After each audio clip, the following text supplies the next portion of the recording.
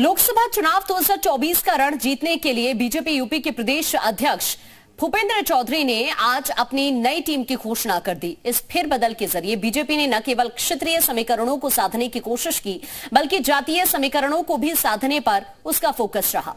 दरअसल लोकसभा चुनाव को लेकर यूपी में मिशन 80 में जुटी बीजेपी कोई कसर नहीं छोड़ना चाहती।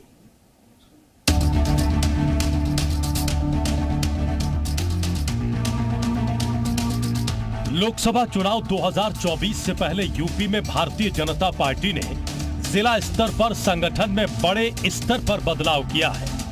पिछले काफ़ी समय से इस बात को लेकर चर्चाएँ चल रही थीं, जिसके बाद आखिरकार शुक्रवार को पार्टी की ओर से नए जिला अध्यक्षों की सूची को जारी कर दिया गया। बीजेपी ने पार्टी संगठन के लिहाज से क्षेत्रवार अट्ठानवे जिला अध्यक्ष बनाए हैं। आगामी चुनावों को देखते हुए बीजेपी की नई टीम को काफ़ी अहम माना जा रहा है। सही है यही इसी टीम के आधार पर हम लोग जो है 2024 का चुनाव लड़ेंगे और बहुत दिनों से इसकी प्रतीक्षा थी।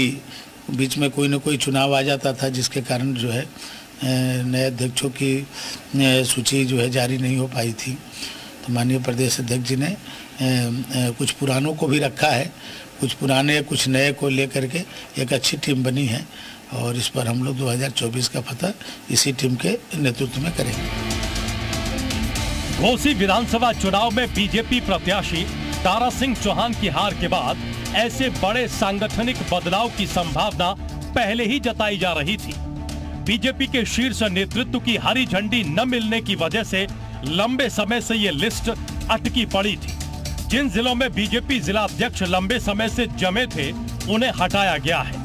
चुनावों में खराब प्रदर्शन और स्थानीय स्तर पर संगठन के कार्य प्रदर्शन की समीक्षा के आधार पर भी कुछ जिला अध्यक्षों की छुट्टी की गई है। इस बार पूर्व विधायक और एमएलसी को भी जिला अध्यक्ष का प्रभार सौंपा गया है।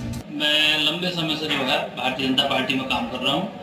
और विद्यार्थी परिषद में मैंने 95 से काम करा है। विद्यार्थी परिषद का जिला प्रमुख रहा, उसके बाद आर डिग्री कॉलेज में छात्र संघ का अध्यक्ष रहा। फिर मुझे युवा मोर्चे का जिलाध्यक्ष बनाया पार्टी ने और फिर नमामि गंगे का क्षेत्रीय संयोजक बनाया।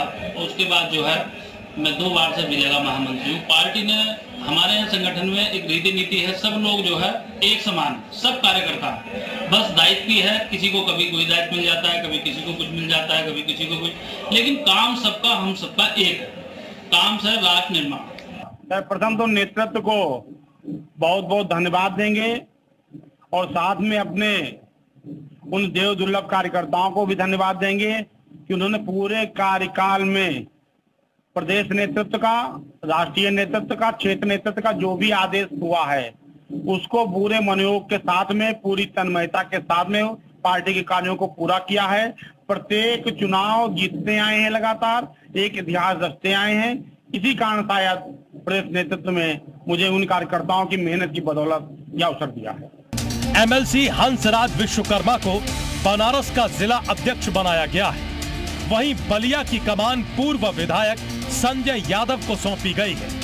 दूसरी तरफ़ आगरा बरेली समेत कई जिलों के जिला अध्यक्ष नहीं बदले गए पुराने चेहरों पर ही भरोसा जताया गया है। 2024 के लोकसभा चुनाव के लिहाज से इन जिला अध्यक्षों के बदलाव को काफ़ी महत्वपूर्ण माना जा रहा है।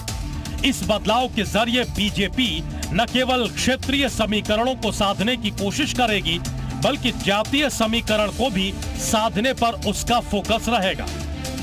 Bureau report, Zee Media.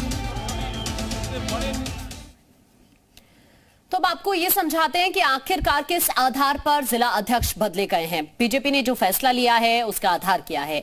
जो दो टर्म या उससे ज़्यादा समय से ज़िले की कमान संभाल रहे थे, जो विधायक, एमएलसी या मेयर बन गए थे, जिनकी परफॉर्मेंस अच्छी नहीं या शिकायत मिल रही थी, नए युवा और बेदाग चेहरों को पार्टी मौका देना चाहती थी। जातीय और क्षेत्रीय समीकरण साधने की भी रणनीति है और इसीलिए पार्टी ने कई जिलों के जिला अध्यक्षों को बदला है।